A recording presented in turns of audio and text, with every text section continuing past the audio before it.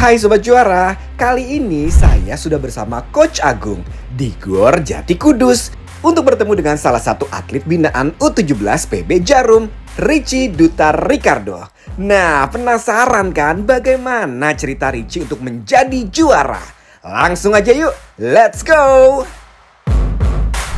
Wah ini berarti U17 ya Coach ya? Iya. Yang Coach ajarin ya? Ya. Coach, oh ini Iya, ini namanya Richie. ini. Halo Richie apa kabar?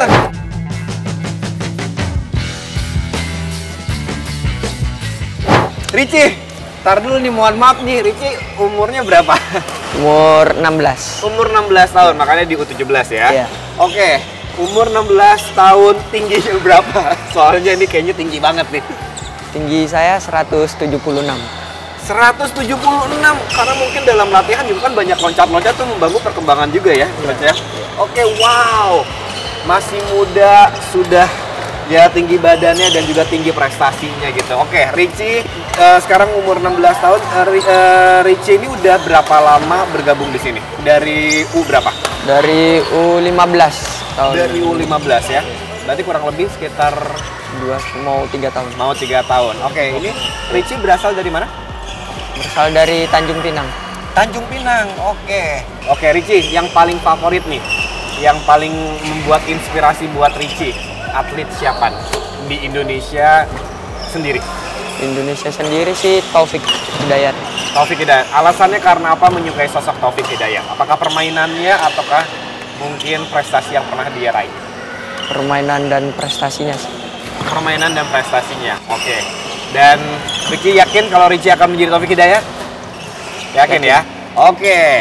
Taufik Hidayat adalah ada, eh, atlet pebulu tangkis yang pasti banyak mencetak prestasi yang sudah tidak bisa dihitung lagi angkanya udah berapa banyak. Nah, kalau dari Richie sendiri ya, udah apa aja prestasi yang udah pernah diraih sama Richie? Saya runner up di Thailand. Thailand, oke, wow. Setelah itu sekolah Sirnas kemarin Prokerto di ya? Prokerto juara. Nah, sobat juara tadi Richie juga sempat bilang kalau Richie sudah berprestasi bukan cuma di nasional tapi internasional aja. Di Thailand menjadi juara juga, di nasional juga menjadi juara yang baru saja kemarin diadakan gitu. Nah, tapi sebelum masuk ke pertandingannya, Richie ini persiapannya ini untuk menuju ke turnamen kan pasti eh, tight banget ya dari jadwal dan juga pelatihan fisiknya. Nah, ini berapa lama nih Richie? Persiapannya sih dari pas habis libur itu sudah digas dari setelah libur Oke. akhir Soalnya tahun. dulu. Iya, Januari. Januari oke. Itu latihannya setiap hari harus ya atau Iya. ada skipnya? Ada setiap setiap hari itu pasti ada skipnya kayak di hari Rabu itu kan kita setengah hari hari Sabtu pun juga kadang kita setengah hari juga Oke. ya di momen-momen itu kan itu sebenarnya juga sebagai suatu apa ya eh, recovery-nya dia juga Recovery, oke. ya itu kan untuk supaya dia nggak jenuh untuk recovery badannya biar pulih lagi Oke, tapi kalau soal waktu itu apakah ditambah ketika kita lagi latihan reguler yang nggak ada turnamen sama yang sudah mendekati turnamen itu jam eh, jamnya ap- apakah ditambah lagi limitnya atau gimana? kalau jamnya mungkin kita nggak terlalu menambah tapi kualitas latihannya yang kita pentingkan Oke. Jadi fokusnya, kualitas latihannya, sama konsistensinya ini yang kita pentingkan karena kan itu persiapan khusus ya. Itu yang yang membedakan. Kalau kita persiapan umum masih jauh, beda lagi. Oke. Iya. Nah ini kan persiapan, waduh ini pasti nervousnya berasa banget ya Richie. Sempat ini nggak ketakutan yang sangat luar biasa yang akhirnya yang Richie rasakan atau Richie, Richie merasa yakin aja kayaknya kali ini saya bakalan menang nih gitu. Kalau untuk nervous sih nggak pernah sih. Nervous Ya. nggak pernah? Keren banget nggak pernah nervous berarti udah yakin ya. Ya, Itu law attraction tuh kalau misalnya kita merasa yakin kita menang dika- insya Allah dikasih jalan bakalan menang ya. Oke, tapi Richie sendiri kan di U17 usia masih muda dan pastinya semua atlet binaan kan punya kelebihannya masing-masing. Nah kalau buat Richie sendiri ini kelebihannya apa? Kalau kita melihat Richie ini kan punya teknik yang bagus, punya uh, apa kualitas pukulan serta penguasaan lapangan yang bagus. Ini kelebihannya dari Richie. Oke, penguasaan lapangan. Oke, dan juga teknik ya. Iya. Tapi kan kalau kita melihat dari fisiknya Ricci kan emang ini tinggi gitu ya. Iya. Pasti dalam langkahan juga kayaknya lebih besar-besar Iya. di satu lapangan ini. Ini mempengaruhi nggak sih coach untuk tinggi badan ini? Tinggi badan sangat mempengaruhi, tapi juga pasti ada eh, apa hal yang juga ada kekurangannya ya. Karena kan Oke. biasanya orang tinggi itu kan secara powernya mesti juga agak lambat ya. nah Hmm, ini oke. Ricci yang kita difokuskan di situnya Oke. itu. Nanti pelan-pelan dengan bertambahnya usia, bertambahnya durasi waktu latihannya, otomatis kuatannya akan meningkat juga gitu. Oh, Tapi untuk saat ini memang skill sama feelingnya yang diasah terus untuk dia. Oh oke, jadi kekurangan akan menjadi kelebihan, kelebihan akan selalu menjadi kelebihan dan lebih lagi ya. Tapi kalau buat Ricky sendiri nih, kira-kira yang paling berat banget untuk eh, proses latihan tuh yang paling gak suka, ya pasti semuanya suka ya, cuman yang buat Ricky ya lumayan berat tuh apa? Pas fisik sih lari. Pas fisik yang lari kenapa? Karena pengennya langsung main aja gitu, nggak mau pakai lari atau gimana? Enggak juga sih. Soalnya kan kalau lari biasa buat daya tahan ya. Iya. Pasti larinya juga jangkanya lumayan panjang. Jadi itu yang buat rada capek. Oke, berarti lari itu exercise-nya dulu. Dan itu biasanya lari itu berapa menit untuk eh kita lari dulu setengah jam atau sejam atau mungkin Ya, biasanya kita eh, kebanyakan pakai ini ya jarak ya. pakai jarak. Oke. Jarak iya, pakai jarak baru nanti kita lihat kekuatannya dia itu setiap per- apa setiap ininya ada berapa menit. Itu kita nanti bisa kita hitung juga. Wow. Gitu. Kalau kita endurance ya mungkin agak dia uh, speednya sedang lah kalau endurance. Tapi kalau dia speed speed endurance ya pasti limit waktunya akan diperpendek lagi. Oke, nah itulah guna, gunanya seorang coach yang pasti struktur dari pelatihannya pun harus detail banget ya coach ya. Oke, nah buat Ricci nih, targetnya sudah memenangkan prestasi di Thailand, udah kancah internasional, di nasional juga kemarin juara. Ada target lagi nggak ke depannya? Nah, ada sih buat setahun dua tahun ke depan lagi untuk World Junior Championship. World World Junior Championship. Junior eh, Championship. Wow. Oke, eh, gimana? Apakah nervous atau merasa yakin lagi akan menang, akan masuk? Rasa yakin sih. Oke, itulah kuncinya untuk seorang atlet yang harus yakin ya coach ya. Coach, tapi kan di sini kan berarti kan mentality, mentality juga kita harus meyakinkan kepada para atlet binaan gitu. Untuk merasa yakin, merasa bisa gitu. Nah, itu kira-kira susah nggak coach untuk di situ? Sebenarnya kalau masalah itu kan ada hubungannya sama kebugaran juga, Kebugaran, persiapan oke. juga. Selama dia merasa dalam performnya, otomatis percaya dirinya pasti akan naik. Oke. Biasanya kan yang mengganggu di stamina atau di kondisi badannya dia. Oke, tapi aku mau nanya nih, kalau Coach Agung ini tipe orang yang kalau misalnya permainannya jelek bilang jelek, atau per- kalau misalnya permainannya bagus bilang bagus, atau mungkin Coach selalu memberikan uh, word affirmation yang bagus buat para atlet binaan? Yang pasti kita akan bicara jujur kepada atlet, tapi tetap kita akan ada caranya ya, supaya atlet itu bisa tahu di mana kekurangannya. Yang terakhir dia bisa lebih semangat lagi untuk memperbaiki itu. Oke. Tuh.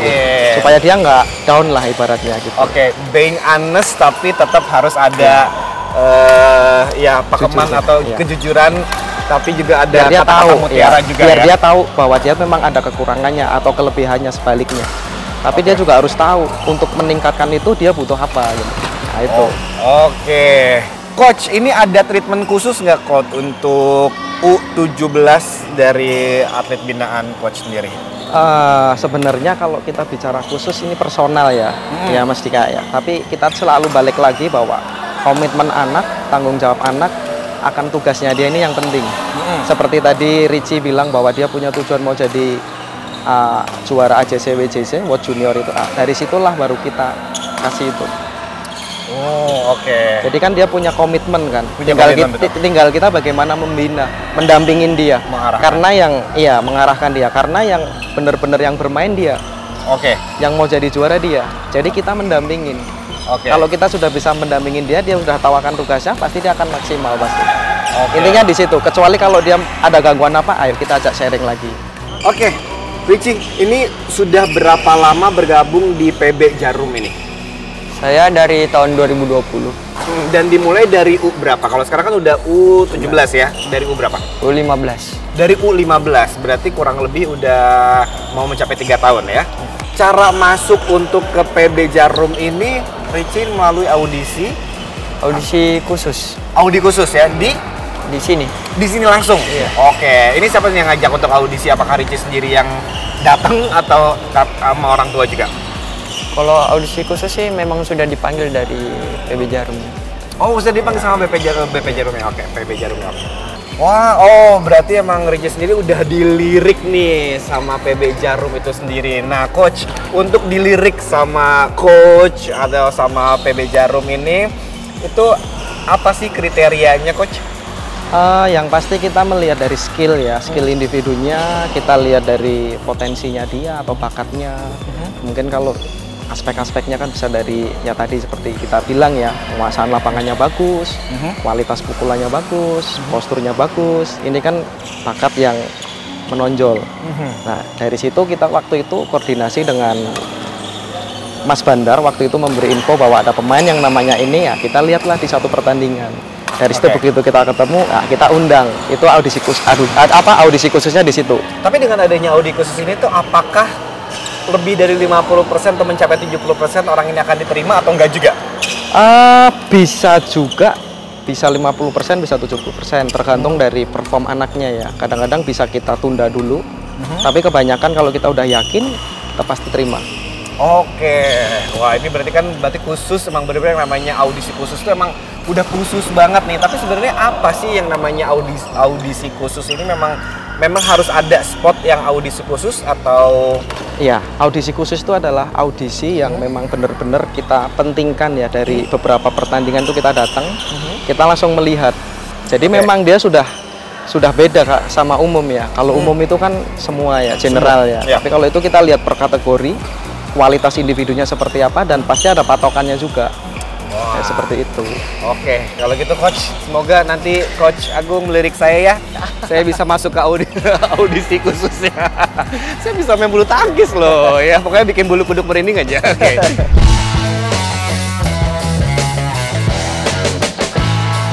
Nah, Sobat Juara, kalau tadi kita sudah ketemu sama Richie, sekarang saya bersama Coach Elvira dan akan bertemu dengan atlet binaan U17 dan U19 Putri PB Jarum. Siapakah mereka? Langsung aja yuk kita cari tahu apakah mereka pantas untuk menjadi juara. Oke. Coach, yang mana coach? Ini Oh, yang ini? Ya, Oh, yang ini- baru balik dari Purwokerto. Oh, ini yang U berapa ini coach? Ini U17 sama U19. Oh, U17 sama U19. Tapi coach sebelum ketemu sama mereka, Yap. tapi kalau misalnya U17 sama U19 disatuin emang boleh coach? Boleh, karena kan tadi latihannya hampir sama. Oh, latihan hampir, Hampir sama. sama. Oke, jadi makanya kadang-kadang mereka juga di satu lapangan di pertandingan yang sama ya. Iya. Coach boleh panggil mereka nggak coach? Pengen kenalan Boleh. juga. Ayo, Oke. Jolin Sausan.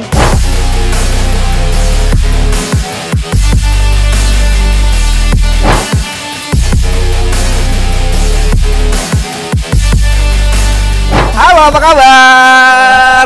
Hai. Nah, mungkin boleh kenalan dulu sama sobat juara yang lagi menyaksikan. Dimulai dari U berapa dulu nih? Kamu U U19 dulu deh. Oke. Halo, nama saya Sausan Dwi Ramadhani eh, dari Depok. Mhm. Masuk ke sini U13. Wow, dari U13 Iya. sekarang udah U19 ya. Berarti udah berapa lama? Mau lima tahunan. Mau lima tahun ya? Oke, dari Depok. Jadi ini lumayan jauh juga. Oke, nah ini ini men- eh, suatu menarik sekali. Ini kamu masuk ke sini tuh audisi awalnya seperti apa? Ikutan audisi atau audisi khusus? Audisi umum. Audisi umum. Ya. Uh, nah ini gimana nih pengalamannya? Kan pasti audisi umum kan bertemu dengan para calon atlet binaan. Nah ini gimana nih prosesnya? Eh, sulit sih, kayak susah eh, menghadapi menghadapi lawan-lawan yang lumayan berat di atas saya gitu. Oke, tapi apakah sempat pesimis atau selalu optimis bakalan masuk ke PB Jarum ini?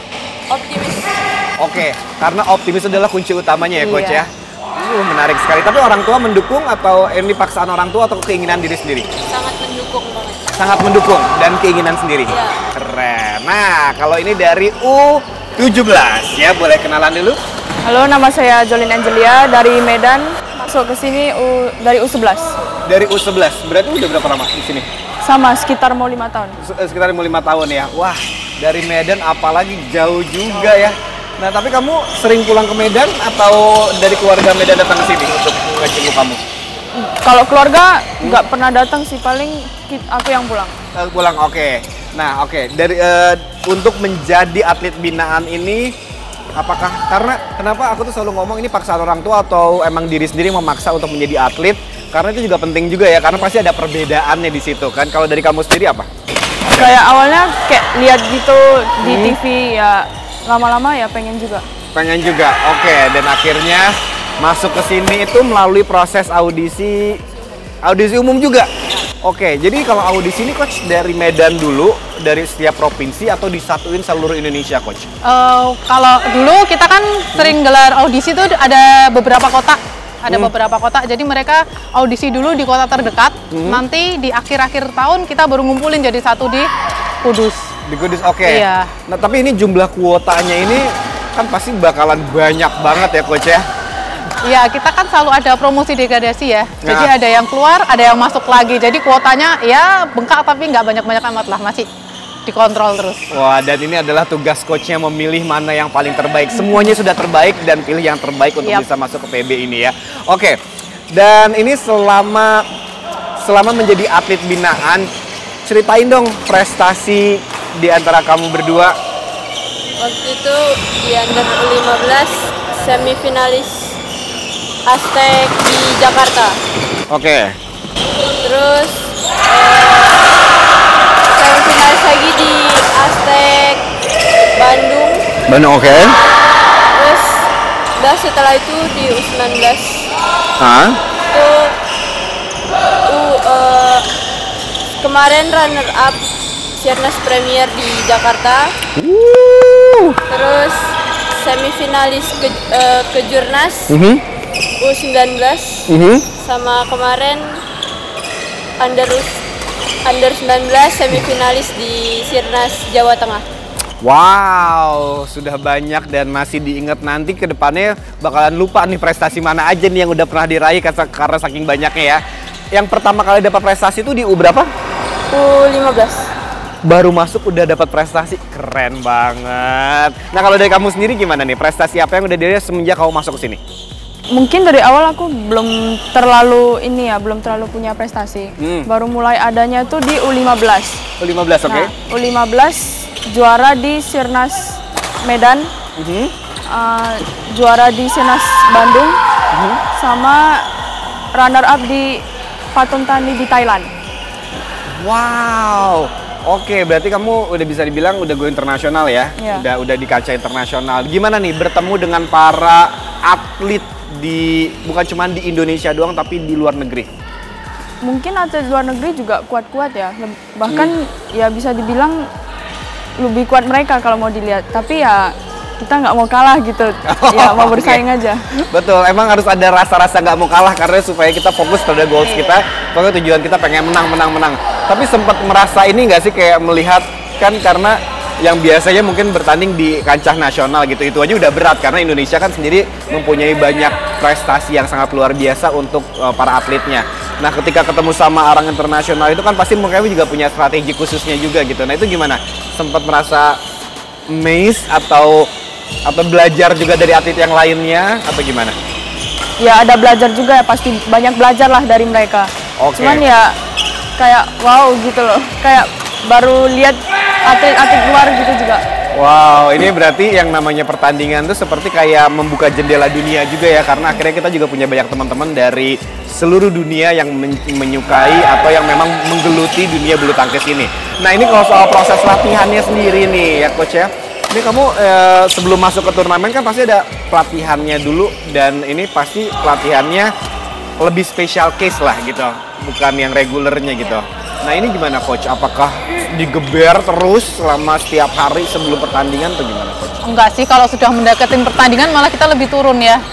Enggak yang intensitas tinggi atau enggak yang latihan berat, tapi makin mendekati pertandingan, latihannya enggak yang seberat itu.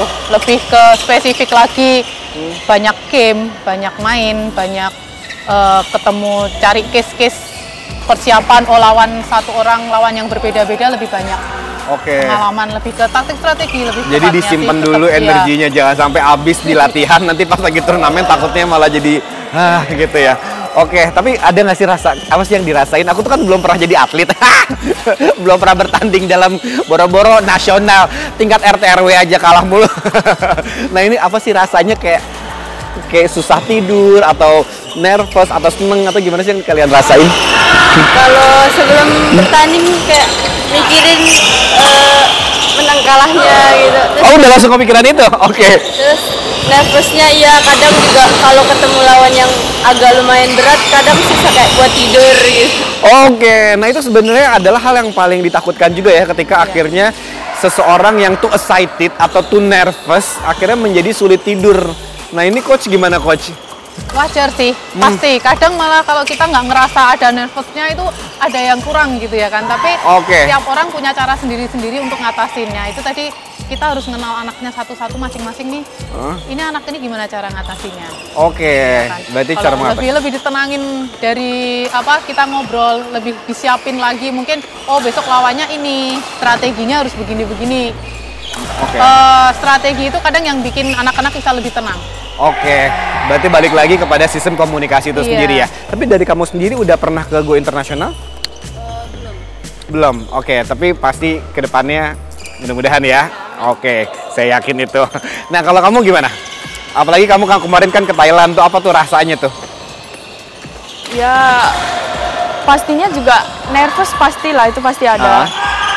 Susah tidur juga pasti ada. Apalagi juga kemarin kan kayak go internasional lawannya Udah pasti sama di cup, kapung cup gitu ya.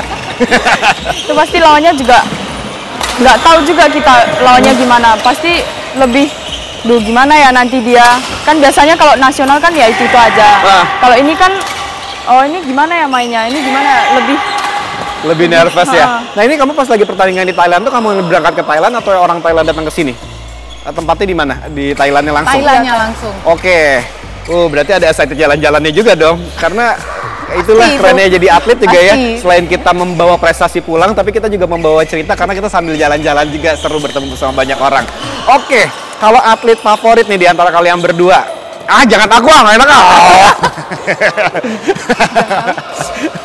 Kamu siapa atlet favoritnya? Favoritnya. Aku akannya Yamaguchi. Uh, oke, itu dari Jepang. Ya, Hmm, kenapa kamu suka dia? karena kan dia meskipun posturnya nggak yang terlalu bagus kayak atlet-atlet lain, Mhm. tapi kayak daya juangnya tuh bener-bener rasa nggak mau kalah itu ada terus Mhm. mana bola juga kayak dikejar terus. Oke, keren keren. Kalau dari nasionalnya sendiri siapa? Indonesia. Susi Su- Susi Susanti ya. Keren. Nah kalau kamu sendiri kalau aku Tai Zuing itu Jepang juga? nggak Chinese Taipei. Oh Chinese Taipei. Oke. Apa kenapa kamu suka dia? tangannya bagus, variasinya juga banyak ya. Kayak nipu-nipunya itu juga bagus. Oke. Ya, itu aja sih. Kalau dari Indonesia? Ya sama Susi Santi. Susi, Susanti, eh, Susi Susanti juga ya. Coach tadi kan juga sempat bilang katanya eh, posturnya walaupun nggak tinggi tapi permainannya bagus. Nah sebenarnya tadi juga aku sempat nanya juga sama eh, Coach Agung juga gitu ya. Sebagai atlet tuh apakah postur badan tuh mendukung atau yang penting adalah gerakannya? Dua-duanya penting ya. Dua-duanya penting Kalau oke Coach. postur bagus, otomatis gerakan di lapangannya lebih enak, lebih efisien. Tapi kalau posturnya sedikit lebih pendek, Hmm. pasti harus butuh usaha lebih. Apa pun itu ya posturnya yang penting yang tetap usaha Iya, balik tetap lagi. usaha balik Dan lagi. cari kelebihannya Nah, juga. iya. Coach, nah kalau dari kelebihan juga nih teknik yang mereka punya berdua ini kira-kira apa kelebihan dari kamu dan kamu? Sausan itu kelebihannya lebih ke tangan. Tangan. Tekniknya bagus, tangannya susah untuk ditebak. Oke. Kayaknya aku perlu tahu rahasia kamu ini ya. Oke, kalau dari Jolin hampir sama, tapi daya juangnya dia lebih kelihatan di lapangan, nggak mau kalahnya itu orang Medan kan, pasti keras. daya Keras. juangnya di lapangan, nggak mau kalahnya dia lebih modal yang paling gede. Oke, berarti emang semua orang tuh punya kelebihannya masing-masing ya, apalagi soal masing-masing. teknik ya. Iya. Tapi kalau dari kamu sendiri nih yang paling kamu eh, sebenarnya ya jangan dibilang nggak suka lah ya, karena kita segala macam latihan kita harus suka gitu. Tapi yang paling berat buat kamu kalau lagi latihan tuh latihan apa? Ke kalau fisik ke lari sih. Kalau fisik lari. Berarti sama kayak yang tadi juga Ricci juga bilang katanya kalau lari itu paling susah. Bukan paling susah, paling, Paling menyebalkan berat. lah ya karena Iya. harus lari-lari. Padahal itu lari itu paling penting buat ketahanan tubuh ya, Iya. coach ya. Oke, kamu paling berat Kalau aku skipping sih. Skipping. Ya. Kenapa itu kan seneng bikin tinggi ya? Nggak tahu ya lebih nggak nggak serak aja soalnya pernah Hmm? kayak bikin kaki itu kayak kurang nyaman jadi ya kurang serak aja Oke, berarti selain endurance-nya juga, terus juga fisik, tapi kan balance-nya juga perlu ya. Nah di skipping itu mungkin kita ngelatihin yang namanya balance kali ya, ya? balance kelincahan di situ Lincah juga ada juga ya? fokus Oke, jadi biar langsung stop, stop, stop, stop. Wede. Coach, nah ini dari kalian berdua cita-cita nih. Apakah cita-cita kalian tuh memang pengen menjadi atlet atau mungkin ada cita-cita yang lainnya? Jadi atlet Fokus aja menjadi atlet. Oke, itu adalah reasonnya kenapa mereka di sini. Kalau dari kamu, ya jadi aja jadi atlet. Oke, kalau gitu, kalau cita-cita udah berarti cita-cita dan hobi harus jalani beberangan. Tetapi kalau target nih, targetnya gimana kamu ke depannya? Eh, mau cita-cita ke depannya sih mau kayak bisa juara olimpiade gitu. Wow, keren. Ya, itu omongan adalah doa. Jadi yang penting dengan kita mewujudkan doa kita, cara kerjanya adalah Tuhan dan juga kerja keras kita. Oke, bisalah, yakin aku. Kalau kamu sendiri gimana targetnya? ya pastinya sama juga juara olimpiade juara dunia juara-juara yang gede lah pastinya Oke, karena uh, Olimpiade itu adalah event terbesar mungkin di cabang olahraga ya, coach ya. Ya, dan tadi sobat juara kita juga sudah mendengarkan juga nih target cita-cita dari para atlet binaan ya. Dan semoga apa yang kalian inginkan tercapai. Dan tentunya kita juga mengucapkan terima kasih juga buat para coach ya, buat coach yang sudah mendampingi mereka, sudah membimbing mereka dan sudah membentuk mereka untuk mereka menjadi hebat dan selalu berprestasi. Oke karena menjadi seseorang itu pastinya adalah impian semua orang gitu ya. Yang pastinya juga kita berterima kasih sekali lagi untuk para coach yang sudah mendukung mereka ya. Karena menjadi seseorang alangkah baiknya juga kalau kita juga menjadi apa coach? Menjadi juara!